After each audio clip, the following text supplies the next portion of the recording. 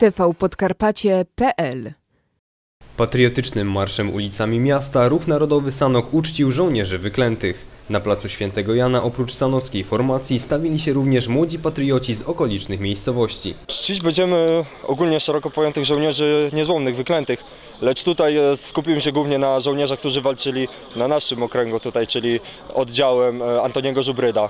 Między innymi o żołnierzach, których powieszono tutaj na sanockim rynku, czy też na stadionie. Nazywani są żołnierzami niezłomnymi, dlatego że po roku 1945 nie uwierzyli w to, że Polska odzyskała e, wolność i niepodległość, tylko wiedzieli, że Sowieci zajęli nasz kraj i e, uzurpują sobie prawo do, do stworzenia własnej e, ideologii w naszym państwie. Dla tych pokoleń tutaj ma być młodych przede wszystkim, którzy nie zostali obeznani z tą historią, a żeby poznali. Dla większości to może być coś nowego, dla mnie to, było, to jest coś jeszcze nowego, dopiero odkrywam to.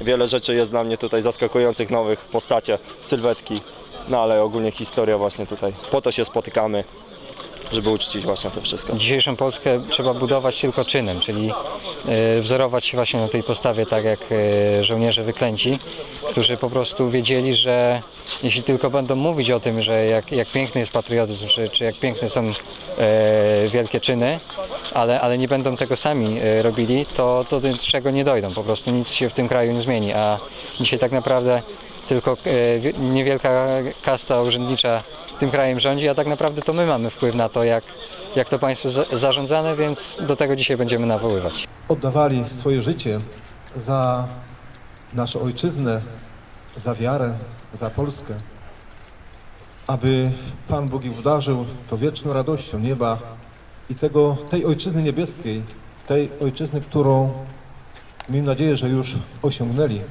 a jak nie osiągnęli, to będziemy ich prosić w modlitwie, aby Pan Bóg był miłosierny dla nich i wprowadził ich do tego królestwa odpoczynku, chwały i wolności. Dzisiejsza manifestacja ma też na celu to, że Ruch Narodowy wyjdzie z inicjatywą e, utworzenia w naszym mieście ustanowienia e, ulicy Żołnierzy Wyklętych po to, by upamiętniać ich, ich czyn tutaj na, na naszej ziemi sanockiej, gdyż nie jest to jeszcze tak, tak w naszym regionie e, rozsławione, jak, jak być powinno. tym, którzy zostali zamordowani, którzy walczyli o wolność swojej ojczyzny, należy się pamięć. Nie wolno nam zapominać. Tracąc pamięć, tracimy swoją historię.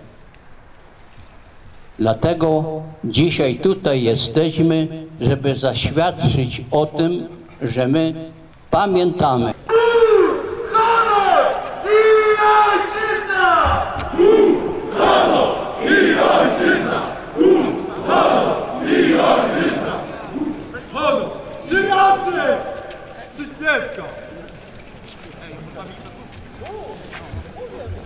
Trzy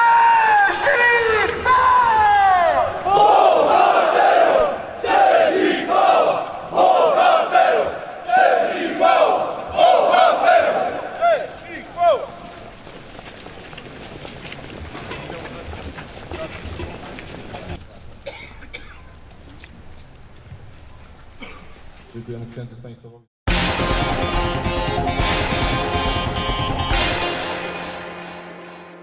tvpodkarpacie.pl